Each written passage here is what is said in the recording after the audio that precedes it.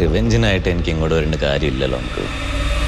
ബോംബെനൊരുത്തൻ്റെ കയ്യിൽ അഞ്ഞൂറ് റുപ്യം കൊടുത്ത് ജയന്തി ജനതയിലെ ജനറൽ കമ്പാർട്ട്മെൻറ്റിൽ കയറ്റി വിട്ട പോലെ